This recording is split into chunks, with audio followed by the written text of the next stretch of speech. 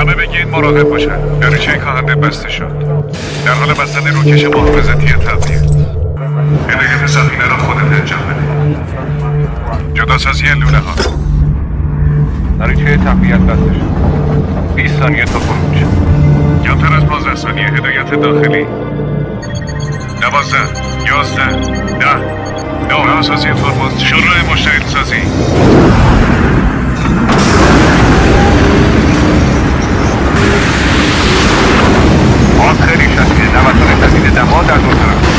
Target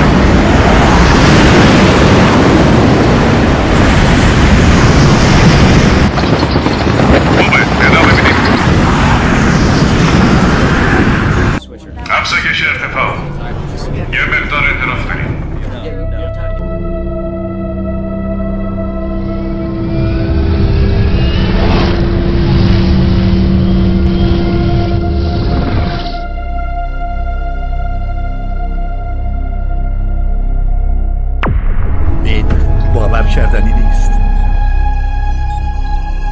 سطح ترازمون داره به هم می‌خوره. آره باید سه تا بریم عقب و دو تا بریم جلو. می‌خوام توقف کنم. یه محدوده دیجیتال.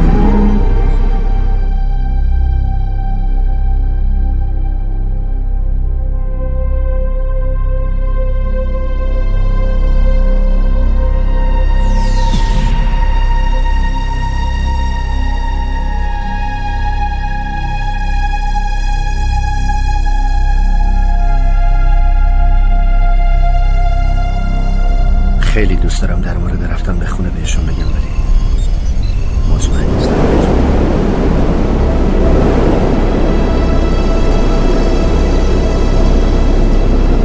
تیم نجات یک در منطقه فرود آبی آماده میشه. با یک وسیله نقلیه شناور.